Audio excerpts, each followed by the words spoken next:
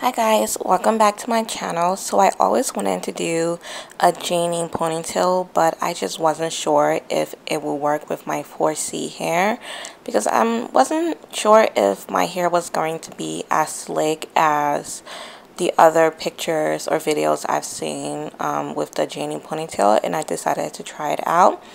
So I'm going to start with Got To Be glue. So you're going to need Got To Be glue, edge control, um, willpower, and also a strong arm to do this hairstyle. So I'm just going to be applying the Got To Be glue all over my hair. You can go in sections, but I was kind of like too lazy to work in sections. And I'm just going to apply it and then brush my hair up. I'm gathering my hair for a ponytail and this is where you need a strong arm because to get my hair into this ponytail like I really had to do some major arm work and you need to use a scrunchie like one of those not the cheap scrunchie or rubber band one of those scrunchies that's more than a dollar you know stepping up in the price and that's one of the scrunchies I used and yeah, once you get a good grip, it takes a couple tries to get a good grip. Um, once you get a good grip, just wrap the scrunchie around your um, ponytail. It doesn't have to be perfect either. I'm going to be using this edge control and this is the key for a really slick high bun. If you just use the got to be glue, it's not going to be as slick as whenever you put the edge control over it and I'm just using one of those edge control combs and just slicking it all up. I'm using the same edge control to do my edges and then I'm going to tie down my hair and so I'm using some of my leftover Marley hair and I'm just going to braid that onto my ponytail or my little bun and I'm going to braid it to the side that I want the ponytail to fall on. And then I'm going to bobby pin the end of the braid.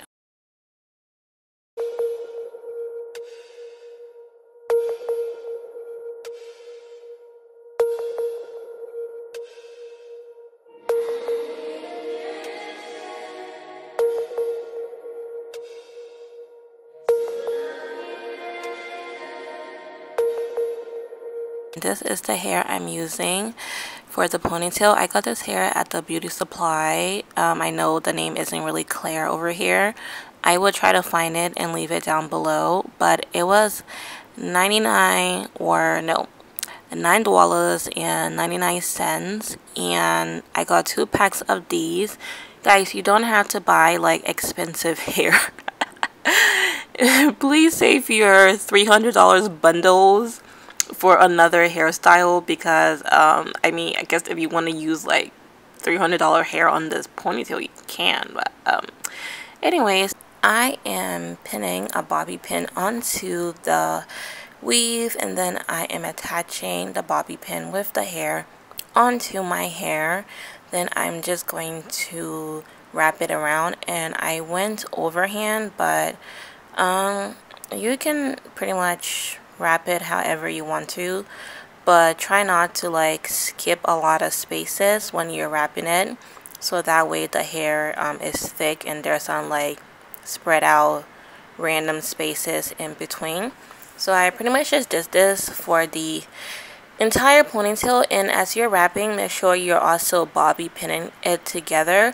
If you do not use any bobby pin and you just wrap the hair whenever you're done and you tug on the ponytail a little bit, the whole ponytail is going to fall apart. So make sure you use bobby pin and I pretty much just wrapped it all the way to the top.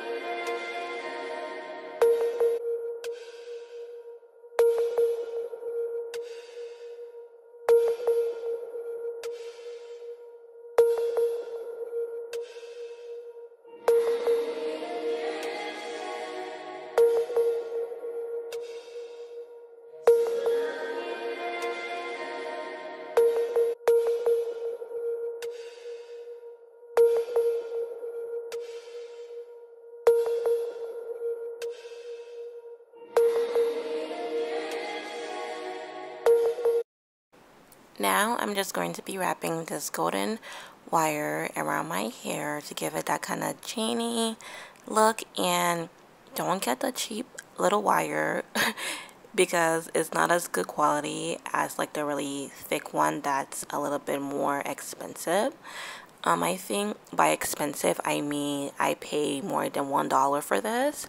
So this was actually two dollars. So so i just wrap it around and um I actually used the whole thread. I wrapped everything around and I just make sure that I'm wrapping it to the side that I want the ponytail to lean. And yep that is actually about it guys. This hairstyle was actually pretty simple. I really wasn't sure if I could even do this hairstyle on my 4C hair because I've never seen it done on actual 4C hair before so I just thought my hair had to be like texturized or relaxed but I'm really happy I tried it out. Um yeah so this is the final look. And if you like this video don't forget to subscribe to my channel and give it a thumbs up. And also follow me on Instagram because I'm going to be um, posting more stuff on there. So if you actually just want to see like what I'm doing on like a daily kind of basis follow me on my Instagram. The link will be in the description. And I'll see you guys in my next one. Bye